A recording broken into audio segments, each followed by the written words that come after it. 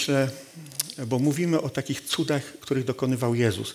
I to jest, myślę, że to jest największy cud, jakiego dokonał. I znajdujemy zapis tego w Ewangelii Jana, ale oczywiście e, ten cud, o którym chcę dzisiaj się z wami podzielić, to jest cud, bez którego apostoł Paweł powiedział w 1 Koryntian 15, gdyby to się nie wydarzyło, to ze wszystkich ludzi jesteśmy najbardziej pożałowania godni. Gdybyśmy, gdyby to nie miało miejsca, gdyby ten cud się nie wydarzył. A, a tym cudem jest zmartwychwstanie Chrystusa. Ja wiem, że dzisiaj nie jest Wielkanoc, bo zazwyczaj ludzie mówią o, e, o zmartwychwstaniu Wielkanoc, ale dla mnie to jest tak ważny temat. E, myślę, że to jest nawet jeden z centralnych punktów chrześcijaństwa, bo e, zobaczcie, Chrystus, będąc na ziemi, całe swoje nauczanie opierał na sobie. On mówił o sobie, że On jest drogą, jest prawdą, jest życiem, że nikt nie przychodzi do Ojca jak tylko przez Niego. On jest tak ważny. Sam o sobie mówił, że jest Bogiem i nawet Żydzi próbowali go zabić za to, że tak mówił. Całe jego przesłanie opierało się na tym. I tak pomyślałem, no dzisiaj nikt by tak nie robił. Nigdy ktoś, gdyby wymyślił sobie jakąś religię, nie zrobiłby tego, żeby oprzeć całą tą swoją religię na sobie. Bo w momencie, gdy taki przywódca odchodzi, to cała ta jego religia, to wszystko, co nauczał, po prostu się rozsypuje. I widzicie, to jest ciekawe, bo wiele ludzi próbowało obalić chrześcijaństwo, mówiąc, że to jest mit, próbując obalić właśnie zmartwychwstanie. Mówi, że zmartwychwstania nie było. Bo gdy to obalimy, udowodnimy, że martwy, martwy człowiek pozostaje martwym człowiekiem, to tak naprawdę całe to chrześcijaństwo, to wszystko, o czym mówią i to, co Biblia mówi, to wszystko tak traci sens. Był taki człowiek, Łukasz mi dzisiaj też o nim przypomniał, poprzez taki mem, który umieścił na, e, na Facebooku. E, człowiek się nazywał Lee Strobel. E, to jest w ogóle ciekawy człowiek, bo on był dziennikarzem takim śledczym. I, ale to jeszcze było w czasach, to umówmy się, to było w czasach, gdy jeszcze dziennikarstwo chyba miało trochę inne wartości. To były czasy, w których mottem dziennikarza było, jeśli twoja mama ci mówi, że, jeśli twoja mama mówi ci, że cię kocha, to sprawdź to. Albo też była taka zasada, że każdy news musisz potwierdzić w przynajmniej dwóch źródłach, żeby móc się nim podzielić z innymi. Ja tak już tęsknię chyba trochę za takimi czasami, bo dzisiaj po prostu w ogóle nikt nic nie sprawdza, wszystko umieszcza, publikuje i potem się robią różne inne rzeczy. Ale on jako dziennikarz śledczy doświadczył w swoim życiu czegoś niebywałego, niebywałego, ponieważ jego żona się nawróciła. I on po prostu był tak zły, że postanowił, że a to ja udowodnię, że zmartwychwstanie jest mitem, i pokażę mojej żonie, że ona w ogóle w jakieś bajki wierzy. I zaczął badać, zaczął analizować. I tak jako dziennikarz śledczy wiele razy widział martwe ciała i wiedział, że martwe ciało pozostaje martwe. Dlatego udowodnię, że chrześcijaństwo nie jest prawdziwe, bo zmartwychwstanie też nie miało miejsca. I podczas tego poszukiwania, tego wszystkiego badania, studiowania, przerażająca ilość dowodów sprawiła, że musiał stanąć przed faktem. Czy odrzucam te fakty, te, te dowody wszystkie, które jasno mówią, że zmartwychwstanie miało miejsce, czy, czy przyjmę to? I nawrócił się, przyjął Jezusa jako Pana i Zbawiciela i zaczął zupełnie nowe życie. I dzisiaj jest, e, głosi słowa i nawet nie wiem, czy widzieliście taki film, Sprawa Chrystusa. To jest właśnie e, film oparty na Jego życiu, na Jego świadectwie. Ale nie chcę o nim dzisiaj mówić, ale tak mi Łukasz akurat przypomniał o nim. Ale ten, to, o czym chciałem dzisiaj mówić, to jest właśnie zmartwychwstanie. W Ewangelii Jana w 20 rozdziale, 19-20 werset, czytamy tak. A gdy nastał wieczór owego pierwszego dnia po sabacie i drzwi były zamknięte tam, gdzie uczniowie z bojaźni przed Żydami byli zebrani, przyszedł Jezus – Stanął pośrodku i rzekł do nich, pokój wam. A to powiedziawszy, ukazał im ręce i bok. Uradowali się tedy uczniowie, ujrzawszy Pana. Jezus ukazał się po swojej śmierci, po tym wszystkim, co przeszedł, czyli później ukazuje się swoim uczniom przy zamkniętych drzwiach. Oni byli zamknięci, szczelnie pozamykani w tym, w tym pomieszczeniu, bo bali się, byli tak zatrważeni. I nagle Jezus przychodzi, staje pośród nich. Pojawia się po prostu. To jest ciekawe, bo oni Uczniowie byli zamknięci, przerażeni, załamani, rozczarowani tym wszystkim, co się wydarzyło, bo całe swoje życie, całe swoje plany wiązali z tym, że Jezus będzie Mesjaszem, osiądzie na tronie, będzie królował, a my razem z Nim przecież, no nie? Najbliżsi. I to wszystko się posypało, gdy widzieli Chrystusa, który umiera na krzyżu. Ale coś się wydarzyło, że z tej grupki zastraszonych, zatrwożonych ludzi poszli na cały świat, ryzykując swoim życiem i oddając swoje życie za wiarę. To jest nieprawdopodobne, bo niektórzy mówili, a to uczniowie wymyślili to wszystko, to całą sprawę zmartwychwstania to uczniowie wymyślili. Wiecie, nikt nie oddaje swojego życia za kłamstwo, które sam wymyślił. No przecież uczniowie nie oddaliby swojego życia za kłamstwo spreparowane przez siebie. Ale oni doświadczyli zmartwychwstania. Oni doświadczyli Chrystusa, zobaczyli zmartwychwstałego Chrystusa. Mogli zobaczyć Jego ręce, Jego bok i byli uratowani tym wszystkim. Pierwsi chrześcijanie nie mieli żadnego interesu w tym, żadnych korzyści w tym, żeby podążać za Jezusem. Wprost przeciwnie. Za to spotykała ich kara, niejednokrotnie byli prześladowani, byli kamieniowani, rzucani lwom na pożarcie. Oni nie mieli żadnego interesu w tym, żeby podążać za Jezusem. A jednak oddawali swoje życie za Niego, bo doświadczyli zmartwychwstałego Chrystusa. I ci uczniowie też go doświadczyli, ci zastraszeni uczniowie.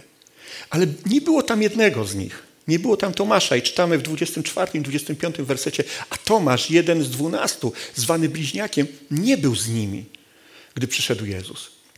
Powiedzieli mu wtedy inni uczniowie, widzieliśmy Pana. On zaś rzekł, jeśli nie ujrzę na rękach Jego znaku gwoździ i nie włożę palca mego w miejsce gwoździ i nie włożę ręki mojej w bok Jego, nie uwierzę. Dlatego wiele ludzi mówi o nim niewierny Tomasz. Ja tak, powiem wam szczerze, jak tak myślę o nim, to tak się zastanawiam, e, czy moja postawa nie byłaby podobna. No bo jeżeli widziałem Chrystusa ubiczowanego, ukrzyżowanego, który po prostu umiera tam na krzyżu, w tych męczarniach i zostaje złożony do grobu. I ktoś by przyszedł do mnie i powiedział, słuchaj, a, widziałem Jezusa, który żyje, chodzi, widziałem Go, dotykałem Go, rozmawiałem z Nim. To pewnie bym powiedział, wiesz co, Hmm. A, no chciałbym to uwierzyć. Chciałbym jakiegoś dowodu, chciałbym to, tego doświadczyć. I on, ja myślę, że moim zdaniem można by go nazwać taki racjonalny Tomasz, który po prostu racjonalnie próbuje zbadać tą sprawę. Oczywiście nie wierzył w to, że tak się wydarzyło, bo nie chciał, ale czy to jest, ja, ja myślę, czy to jest powód, żeby go tak od razu tak zrzucać, o niewierny Tomasz, bo to się tak kojarzy trochę dziwnie. Ale Zobaczcie, co się dzieje. Tydzień później, 26 werset. A po ośmiu dniach znowu byli w domu uczniowiego i Tomasz z nimi. I przyszedł Jezus, gdy drzwi były zamknięte i stanął pośród nich i rzekł, pokój wam. Potem rzekł do Tomasza, daj tu palec swój i oglądaj ręce moje i daj tu rękę swoją i włóż w bok mój. Nie bądź bez wiary, lecz wierz. I te słowa, które Tomasz powiedział – Pan mój i Bóg mój. Doświadczył Chrystusa, zobaczył Chrystusa i mógł dotknąć Go. E, wiecie, dotknąć Jego ran, zobaczyć tak naprawdę, że to jest ten Chrystus, który nie tak dawno umierał na krzyżu. Jezus wtedy, gdy się im objawiał, był w uwielbionym ciele i to jest ciekawe, bo w uwielbionym ciele, ciele mógł się pojawiać i nawet w pomieszczeniu, które było zamknięte szczelnie. Po prostu się pojawił tam. Tak sobie ten, przez ściany przechodził. Tak po prostu. Kiedyś też będzie mieć uwielbione ciała. Ale zobaczcie, tam w tym jego uwielbionym ciele, na jego uwielbionym ciele, cały czas miał ślady tego, co uczynił dla ciebie i dla mnie. Na jego rękach cały czas były ślady po gwoździach, którymi został przybity do krzyża. Cały czas. Mimo, że uwielbione ciało. Ja tak pomyślałem sobie, że gdy każdy z nas, kto oddał swoje życie Jezusowi, pójdzie do, pójdzie do nieba, spotka się z Jezusem, to zobaczy Jezusa, który wita go w niebie z otwartymi szeroko ramionami, na których nadal będą te ślady po gwoździach. Jako jedyna rzecz, którą człowiek zrobił, która przetrwa wieczność i zostanie na wieki. Rany w ciele Jezusa. On, będąc w uwielbionym ciele już, po zmartwychwstaniu, nadal miał te ślady. Ja naprawdę, ja nie wyobrażam sobie, jak to będzie, gdy stanę przed Nim i zobaczę na Jego ciele te rany. Pomyślę, jak wielką miłość On mi okazał, że przeszedł tak wiele, że na tym krzyżu zawiózł dla mnie. Jakże to jest nieprawdopodobne.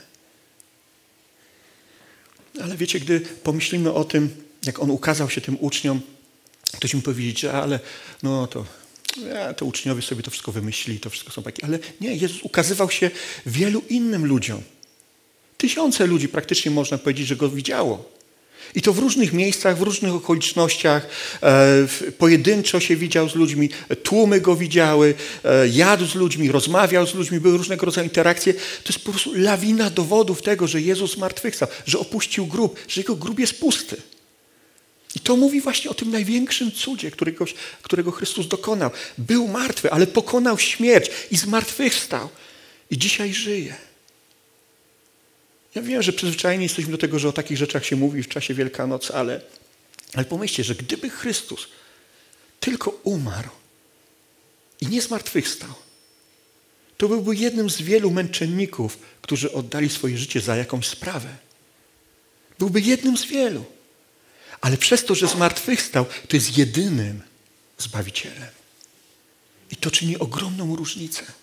On nie jest jednym z wielu, którzy oddali swoje życie za jakąś sprawę, ale jest jedynym, który jest tym, który może zbawić. Jezus Chrystus. I tak pomyślałem, gdy właśnie rozważałem ten temat, co to znaczy dla mnie dzisiaj. I to jest, naprawdę jest wiele rzeczy, które to wnosi w moje życie. Ja chciałem tylko z wami się podzielić tylko kilkoma rzeczami, które przynajmniej dla mnie są tak ważne, gdy myślę o zmartwychwstaniu, o tym, co Jezus uczynił.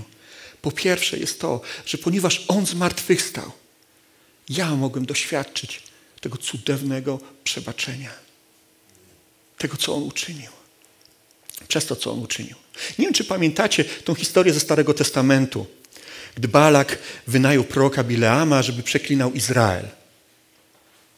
No ale jakoś mu nie szło. I w piątej Mojżeszowej, 23, werset 6, jest takie piękne słowa. Lecz Pan, Bóg Twój, nie chciał wysłuchać Bileama i zamienił Ci Pan Twój Bóg przekleństwo w błogosławieństwo, gdyż umiłował Cię Pan, Bóg Twój. Bileam miał przeklinać Izraela, ale Bóg zamienił to przekleństwo w błogosławieństwo. Wiecie, o czym mi to mówi? Bo tak, gdy myślę o tym, to jest właśnie to, co Chrystus uczynił na krzyżu. Zabrał przekleństwo grzechu, przybił je do krzyża, razem przyjął je na swoje ciało, stał się za nas grzechem. Ale po to, by wzbudzić nas do nowego, zmartwychwstałego życia, bo w Chrystusie wszystko jest nowe. Jesteśmy nowym stworzeniem. Jak pomyślałem, że tak wiele, wiele ludzi dzisiaj zmaga się z tym, że myśli, że tak wiele rzeczy w ich życiu jest takim przekleństwem. I zmagają się z tymi rzeczami. Myślą, to jest straszne to, co, jak wygląda moje życie, to, co robię, to o, po prostu to jest jedno wielkie przekleństwo. Ale chcę Ci powiedzieć, przynieś to do krzyża. Przynieś to do Chrystusa. Złóż to tam, w tym miejscu i przyjmij to nowe, zmartwychwstałe życie. To, które Chrystus nam daje Tobie poprzez to, że zmartwychwstał. Ktoś może powiedzieć, a po prostu moja przeszłość jest tak straszna. Ciąży mi to wszystko, co było, co robiłem, co robiłam. Jak po prostu ja już nigdy nie... w środę o tym właśnie tak wspominałem też. Mateusza 6, 20, 34 jest powiedziane, że dosyć ma dzień dzisiejszych swoich trosk i utrapień. Po prostu życie przeszłością ograbia nas tych wielu błogosławieństw, które Bóg ma dla nas dzisiaj. Bo myślimy, a to co było, to co zrobiłem, kim byłem, coś jest... Po prostu zamiast przyjść do Chrystusa, przyjść do krzyża i doświadczyć tego pustego grobu, że On zabrał te wszystkie rzeczy i On zmartwychwstał, Jego grób dzisiaj jest pusty i ja mogę w tym, co On uczynił, żyć i iść do przodu. Nie muszę... Wiecie, jak kiedyś, pamiętam, rozmawiałem z taką osobą, która powiedziała, że bardzo e, trudno jest jej patrzeć na siebie w lustrze, bo miała takiego męża, który patrzył na nią i mówił, znaczy, ja nie mogę w to uwierzyć, że ktoś coś takiego mógł powiedzieć, ale mówił do niej, wiesz, szkoda, że ty nie wyglądasz tak jak ta i tamta i tak dalej. Po prostu masakra, koszmar. I ona mówiła, że z takim poczuciem winy żyła cały czas i nie mogła patrzeć na siebie w lustro, bo myślała o sobie, że jest jakaś taka po prostu do niczego się nadająca. I pamiętam, gdy rozmawialiśmy z nią i wtedy tak pamiętam, Bóg mi dał taki przykład tego, że czasami my w naszym życiu robimy właśnie w ten sposób, że wyobraźcie sobie samochód, który ma napęd na przednie koła i z tyłu ma bagażnik. I te wszystkie rzeczy z przeszłości, te wszystkie rzeczy, które nam ciążą, rzucamy do tego bagażnika i a, bo musimy z tym żyć i jakoś z tym będziemy żyć. I damy sobie... Ale w końcu już tak dużo tych rzeczy jest w tym bagażniku, że ten samochód jest tak przeciążony, że po prostu podnoszą mu się te przednie koła do góry, bo już jest tak przeciążony. I wtedy nieważne, jak bardzo będziemy dodawać gazu, być może będziemy nawet wylewać 98 zamiast 95, może nawet przemalujemy ten samochód, będziemy robić różne rzeczy. On nigdy nie pojedzie do przodu, bo koła się będą kręcić w miejscu.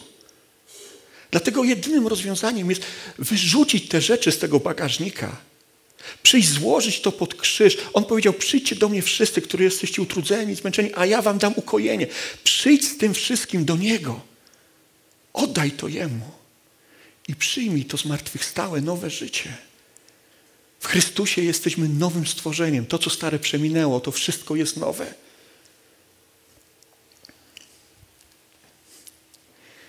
Ale ktoś powiedział, no ale ja, ja to rozumiem że mi przebaczono, ale ja sam sobie nie mogę przebaczyć tak wielu rzeczy. Przecież wiem, co zrobiłem. Wiem, kim jestem. Nie potrafię sobie przebaczyć. Ale chcę Ci powiedzieć taką rzecz. Zastanów się nad jednym. Skoro Bóg Ci przebaczył, to co Ty jeszcze możesz sobie przebaczać? Skoro już Bóg Tobie wybaczył. Może zamiast trudzić się i męczyć się z tym, po prostu przyjdź do Niego i wyznaj to, że On tego dokonał już. Przyjmij to, co On już uczynił. Bo my mamy taką tendencję czasami, że żyjemy biczując się za grzechy, które już nam Bóg wybaczył. Psalm 103 pięknie mówi o takich rzeczy i on mówi, żeby moja dusza niech błogosławi Pana i nie zapina wszystkich dobrodziejstw Jego, bo On odpuszcza wszystkie winy Twoje, leczy wszystkie choroby Twoje, On ratuje od zguby życie Twoje. On wieńczy Cię łaską i litością, On nasyca dobrem życie Twoje, tak iż odnawia się jak u orła młodość Twoja. Taki jest Bóg. I później od 10, od 10 do 12 wersetu on mówi, że On nie postępuje z nami według naszych grzechów, ani nie odpłaca nam według win naszych, lecz jak wysoko jest niebo nad ziemią, tak wielka jest dobroć Jego dla tych, którzy się Go boją. Jak daleko jest wschód od zachodu, tak oddalił od nas występki nasze. Taki jest Bóg. Takich rzeczy dokonał. Czy ja to przyjmę i będę żył w tym? Czy będę się biczował za rzeczy, które On już, z którymi On już się rozprawił? Ten, co pokonał śmierć, chce Ci dać nowe życie. Dlatego Kolejna rzecz, która jest tak ważna, przynajmniej dla mnie, jeśli chodzi o, o, o gdy myślę o zmartwychwstaniu, to ponieważ On zmartwychwstał, ja mogę mieć sens życia. Sens w swoim życiu. Pierwszy Koryntian 15:58 mówi pięknie: Tak, bracia mili, moi mili, bądźcie stali, niewzruszeni, zawsze pełni zapału dla pracy dla Pana, wiedząc, że trud wasz nie jest daremny w Panu. Zmartwychwstanie sprawia, że to, co robisz, idąc za Panem, służąc Mu, to ma ogromne znaczenie. Czy zdajesz sobie z tego sprawę, że to, że ty na przykład pójdziesz i powiesz komuś o tym, co Bóg zrobił w twoim życiu, o tym, co ty doświadczyłeś, tego przebaczenia, bo spotkałeś zmartwychwstałego Chrystusa, to to nie tylko zmienia czyjeś życie tutaj na ziemi, ale zmienia też całą wieczność tego człowieka. Wiecie, jakie to ma znaczenie? To sprawia zmartwychwstanie. Chcesz, by twoje życie miało znaczenie? Powiedz komuś o Chrystusie. To się wydaje takie proste, ale takie to jest. Pamiętam, to już wielokrotnie mówiłem, ale takiego kolegę mam, który już jest u Pana, bo zmarł na nowotwór, e, ale on zawsze mówi coś takiego, że masz problem, idź na ewangelizację. Bo jak zaczynasz mówić ludziom o Bogu, zaczynasz mówić ludziom o tym, co Bóg zrobił w twoim życiu, nagle się okazuje, że te wszystkie problemy jakoś stają takie malutkie. No nic nieznaczące, bo rozważasz i myślisz o tym, jak wielki jest Bóg. Pomyśl, że jedyne, co możesz zabrać ze sobą do nieba, to są dusze ludzi, którym powiesz o Bogu. To nie są rzeczy, które ty możesz tutaj, e, te skarby, pełne konta bankowe, nie wiadomo co. Tego nie zabierzesz sobą, to wszystko zostawisz. Kiedyś pamiętam taki rysunek, widziałem jakiegoś człowieka, który puka do bram nieba i tam Piotr mu otwiera i, i tak patrzy na niego, on taki z walizkami, z których się wysypują e, jakieś sztabki złota. I Piotr tak na niego patrzy i mówi, ty ale po co płytki chodnikowe tutaj przyniosłeś? Nie. My czasami budujemy swoje życie o rzeczy, które i tak nie przeminą. Tak jak ja często powtarzam, że skarby dzisiejszego Egiptu lądują na jutrzejszym śmietniku. Ale dusze ludzi, które poznają Chrystusa, a to jest coś, co jest na wieki. Ja nie zapomnę to, jak tak patrzę na Basię, to tak, e, e, pewnie słyszeliście tą historię nieraz, może nie wszyscy, ale powiem jeszcze raz. Kiedyś Basia przyszła, o to było, nie wiem, z 15 lat temu, przyszła i powiedziała, że jej sąsiadka jest umierająca. I czy możemy tam do niej pójść i porozmawiać z nią o Bogu? I poszliśmy do niej. Okazało się, że ona miała bardzo ciężkie choroby. Wypisali ją ze szpitala, nie wiadomo z jakiego powodu, bo była w tak ciężkim stanie. My już teraz wiemy z jakiego powodu, ale, bo musieliśmy do niej pójść, zobaczcie z nią. Ale ona była w takim stanie, że miała jedną nogę amputowaną, w drugą nogę wdała się gangrena i też miała być amputowana. W ogóle stan był bardzo ciężki. No i poszliśmy do niej z Renią. Renia wzięła gitarę i zaczęliśmy jej śpiewać. Najpierw piosenki, znaczy Renia zaczęła śpiewać. No, ja jakbym zaczął, to pewnie by uciekła. Ale, ale Renia śpiewała jej piosenki o Bożej miłości, a ja zacząłem z nią rozmawiać o Bożej miłości i o tym, jaki jest Bóg. Wiecie, ona tak popatrzyła na nas i mówi, Bóg nie może mnie kochać. On miał 80 parę lat. Mówi, Bóg nie, nie, nie, to nie jest możliwe, że Bóg mnie kochał. Zapytałem się, a dlaczego? Dlaczego tak mówisz?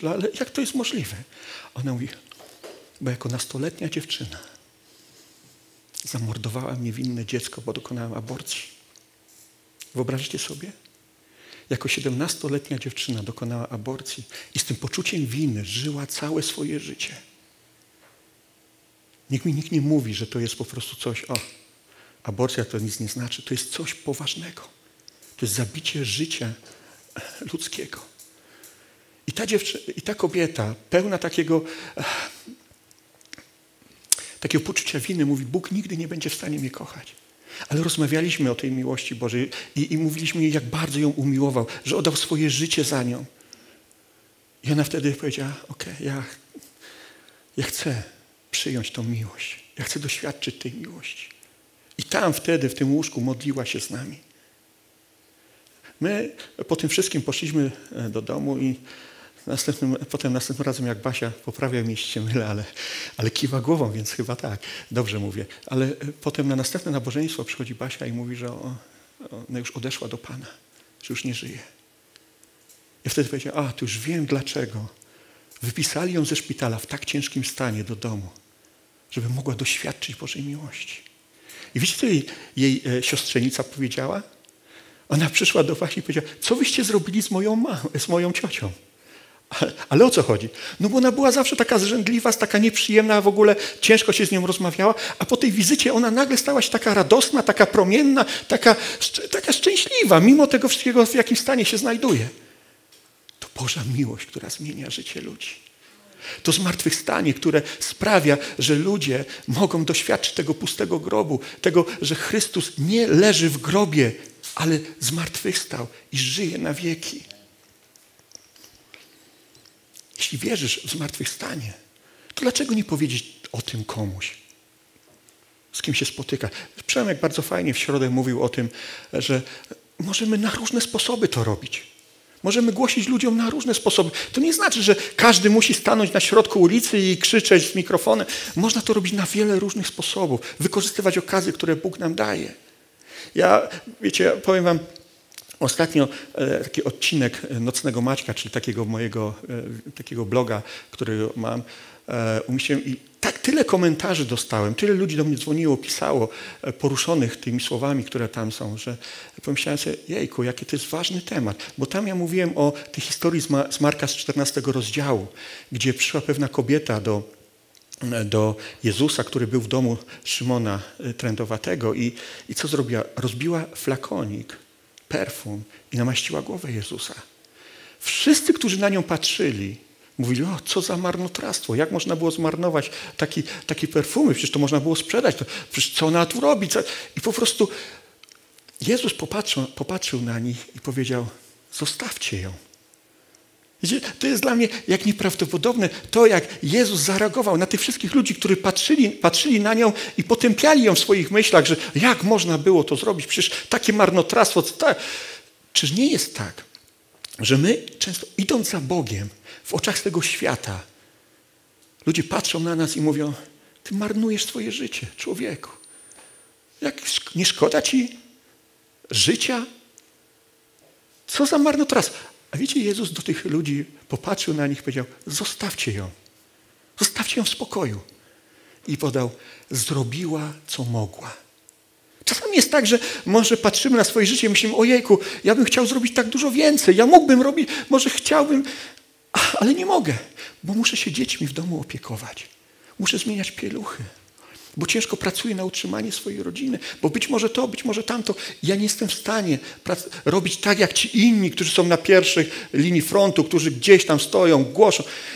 Ale chcę ci powiedzieć, że ja tak dochodzę do takiego wniosku, że jeżeli masz serce przepełnione taką miłością Bożą, to nawet zmienianie pieluch niemowlakowi może być tak samo duchowe, jak głoszenie na ulicy. Jeżeli robisz to na chwałę Bożą. Bóg, Jezus popatrzył na tą kobietę i powiedział do niej, powiedział o niej, zostawcie ją w spokoju. Co mogła, to zrobiła. Ja myślę, że my zbyt często mamy nos wsadzony w cudze sprawy, zamiast wsadzać nos w Biblię. Bo to pozwoli nam lepiej służyć Bogu i pracować dla Boga.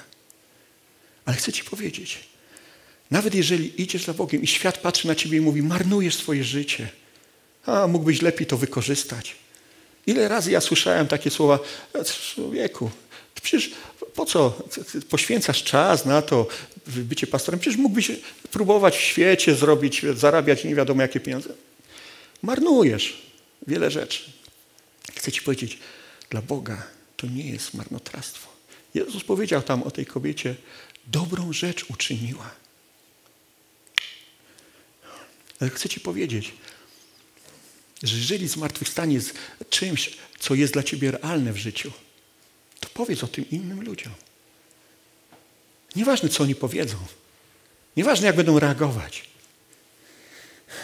To ma sens. I wiecie, że kolejna rzecz to jest to, że ponieważ On zmartwychwstał, to ja mogę doświadczać Jego mocy każdego dnia mocy zmartwychwstania. Efezjan 1,3 jest powiedziane, że błogosławiony niech będzie Bóg i Ojciec Pana naszego Jezusa Chrystusa, który nas ubłogosławił w Chrystusie wszelkim duchowym błogosławieństwem niebos, niebios. W Chrystusie mamy wszelkie błogosławieństwa niebios. I tak jak 2 Piotra 1,3 mówi, że boska Jego moc obdarowała nas wszystkim, co jest potrzebne do życia i pobożności przez poznanie tego, który nas powołał przez własną chwałę i cnotę.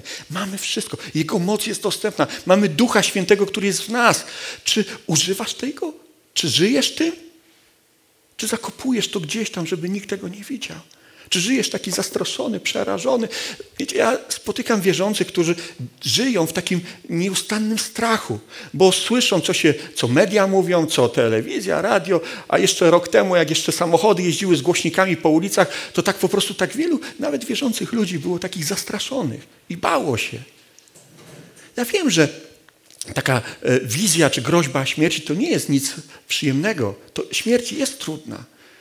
Nie jeden pogrzeb prowadziłem i naprawdę chciałoby się, żeby te osoby, które tam już leżą w grobie, żeby one jednak nie leżały tam, żeby były wśród nas, żeby można było spędzać czas razem. Ale wiesz, chcę Ci powiedzieć, że dzięki temu, co uczynił Chrystus, że On zmarł, ale zmartwychwstał. Śmierć to nie jest koniec. Tak naprawdę to jest nowy rozdział. Tu na ziemi, ja powtarzam, że widzimy pewne rzeczy jak przez dziurkę od klucza, ale tam, gdy już staniemy w Jego obecności, to widzimy to takim, jaki to powinno być.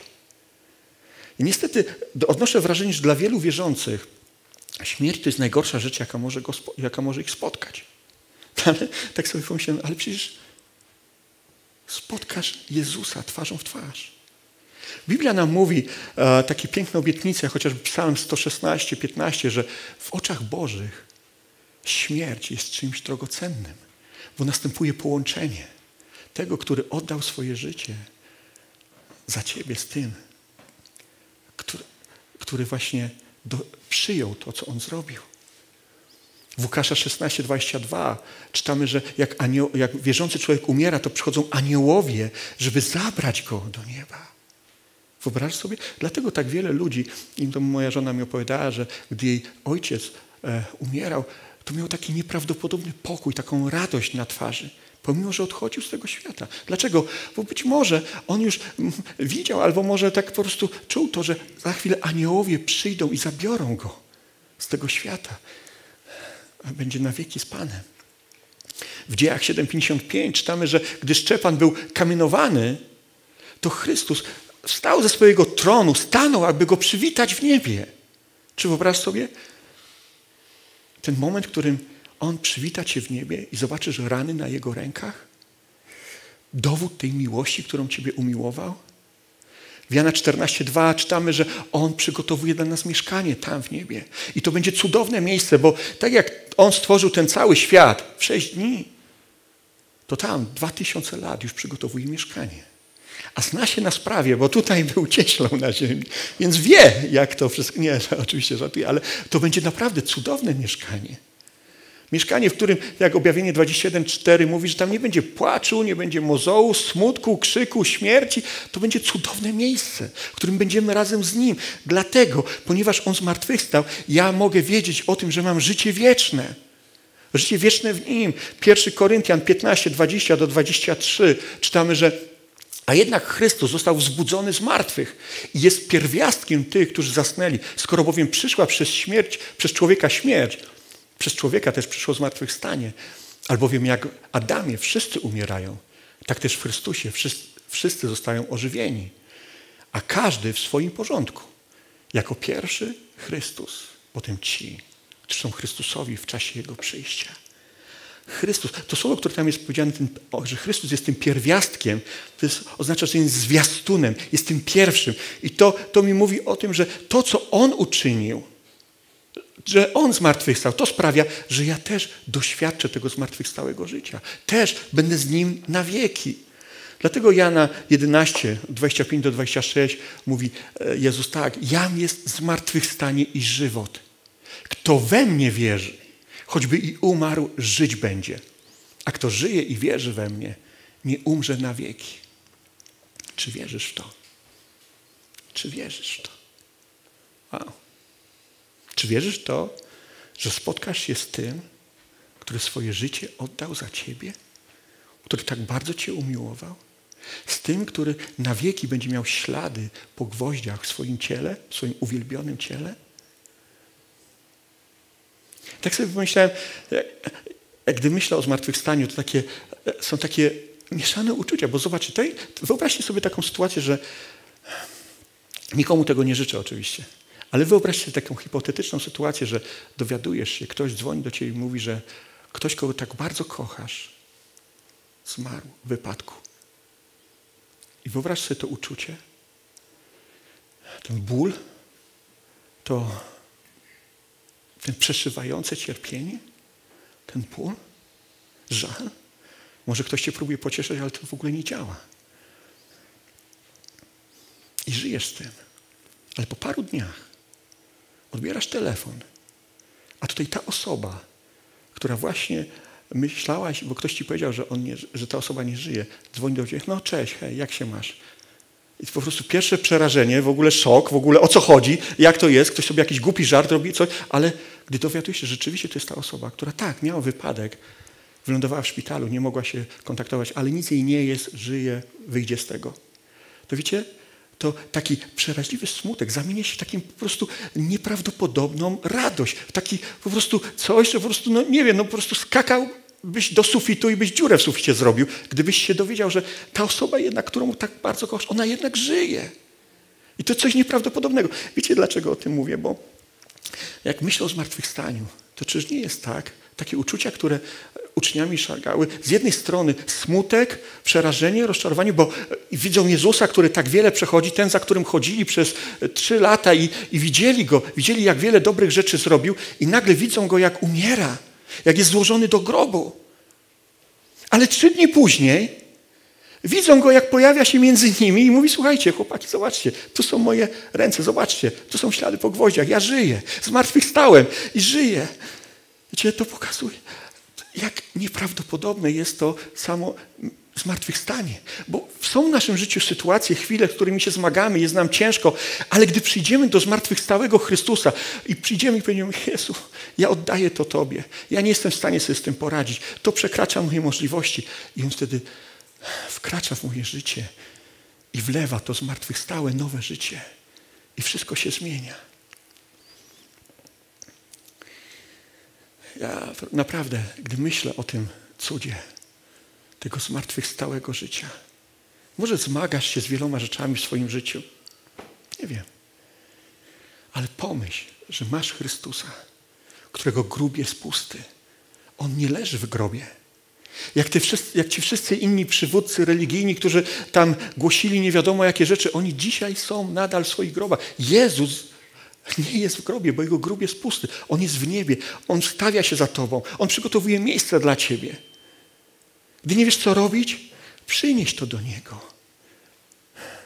Gdy nie wiesz, jakie są, jak z tego wyjść, co sobie, jak sobie z tym poradzić, przyjdź do tego, który pokonał śmierć, który zwyciężył. I chce dla ciebie mieć coś, co zmieni całkowicie twoje życie.